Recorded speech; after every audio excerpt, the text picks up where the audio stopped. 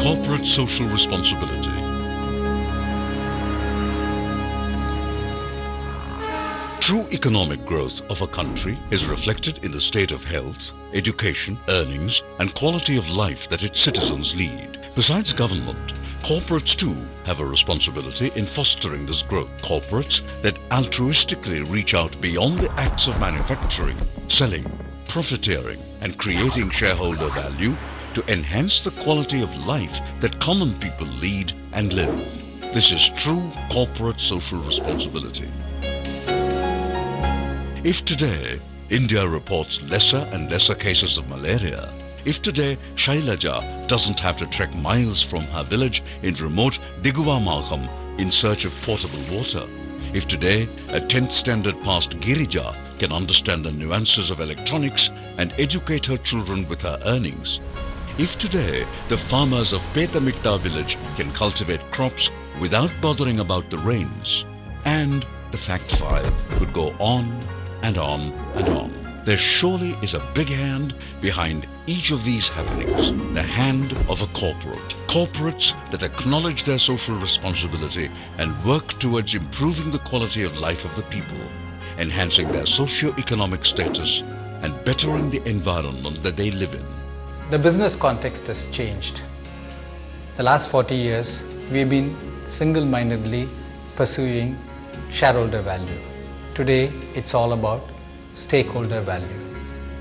And one of the most important stakeholders that we have is the society at large. Corporate social responsibility, or CSR, is now no more an act of charity or philanthropy, but a statutory commitment and a God-sent opportunity on the part of corporates to participate in the nation-building effort and give back to society in good measure what is due to them, thanks to the Companies Bill 2012 passed in Parliament. something in which we not only fulfill the legal requirement but also participate in a nation building effort. However, given the huge landscape of India, the enormity of its population, and the innumerable problems people and the environment face every day, it is a case of too little being done for the too many.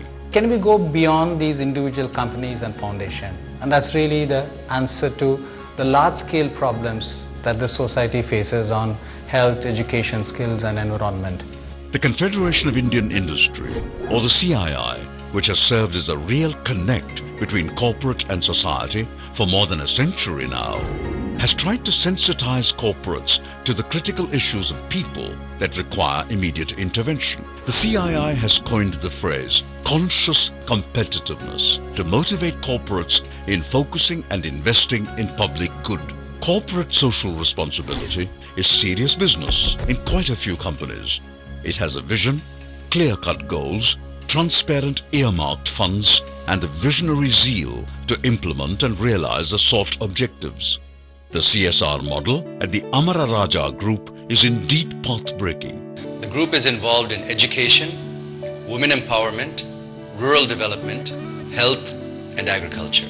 The focus is on wholesome or holistic development of a particular rural place, ushering into the rural community all the benefits and the amenities that urban life offers. Same culture, same people, but their thoughts are different, their lifestyles are different, and the way they live is different, their economic conditions are different. The GVK Group's core CSR efforts, besides the adoption of schools in Nellore and the opening of a tennis academy in Hyderabad, has been the pioneering 108 EMRI ambulance services. Free of cost, 9,600 state-of-the-art ambulances ply across different states with trained paramedics. 35% are pregnancy cases, poor people living in smaller places, in villages or slums. Just call 108 and they get the facility. It is totally air-conditioned ambulance. It has got a Medicare in the ambulance itself. The first of its kind model that has been embarked upon on a noble mission. Corporate success has always gone hand in hand with social commitment at the Murugappa Group. It has been at the forefront of eco-conservation, public health, and education. In the communities where it operates since 1957, it runs four schools, a polytechnic college, and four hospitals. It also runs an R&D center for rural development. The Srinivasan Services Trust, the social arm of the TVS Group operating in and around AK Padavedu in the Tiruvannamalai district of Tamil Nadu. Besides providing infrastructural facilities in schools, emphasis is on improving the quality and standard of education provided to children. Empowering women by forming them into self-help groups has been another success story. Sewage treatment plants, employing simple, unique and brilliant indigenous technology have been developed across many remote villages. Valuable work in the tribal areas through skilling of women and empowering them with the power of entrepreneurship is a big achievement on the part of Srinivasan Services Trust. Significant work to improve the health of women in all these villages with the consistent conduct of health camps. A lot of technologies have developed to try and uh, change the manner in which uh, sanitation is done. In healthcare, there is a lot of interesting work going on on using technology to try and bring healthcare at a very low cost. Apollo Hospitals, in partnership with the Sachi Foundation, focuses its CSR efforts on pediatric cardiac care, especially for underprivileged children. Falling within the ambit of its own expertise, wonderful work has been done here. Gamesa, the windmill giant, has set its benchmark in CSR activities by providing school classrooms with wooden benches, thereby providing students with bare basic infrastructure. Besides, textbooks, notebooks and other school accessories are also provided. Visiting schools and teaching NSS volunteers on how to act in case of an emergency caused by a fire was another effort that Gamesa employees undertook. CSR activity has now converged into a kind of an employee movement which gives them great pleasure and great pride in working for Gamesa. And I wish that there are other companies which can do this.